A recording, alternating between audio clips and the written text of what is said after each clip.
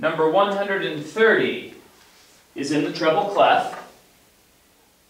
It is in the key of F major, F major.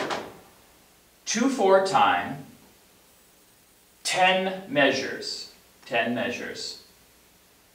The first note is Do in the bottom space of the staff, eighth note on beat 1.